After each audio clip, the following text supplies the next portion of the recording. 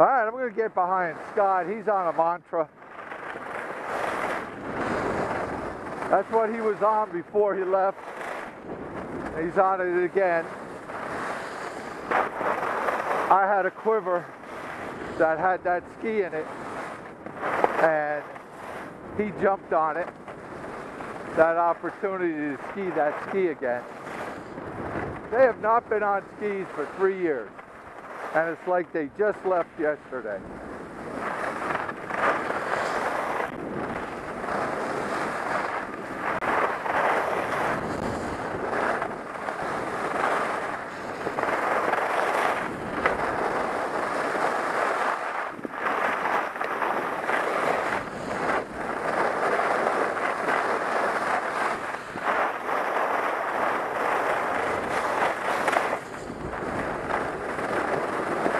We're going to take the Snowbowl Express right here.